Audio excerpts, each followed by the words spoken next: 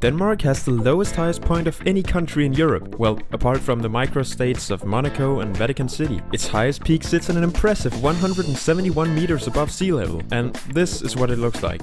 But because of its rather unimpressive height, it actually took decades to find it. You see, throughout the last century, they kept making new discoveries. Originally, everyone agreed it was here, but then they found this place. A couple years later, and someone said, dude, isn't this place higher? That was followed by decades of arguing before it was finally settled that this farm, just 270 meters to the west was slightly higher. If you enjoyed the video, I'd appreciate your subscription.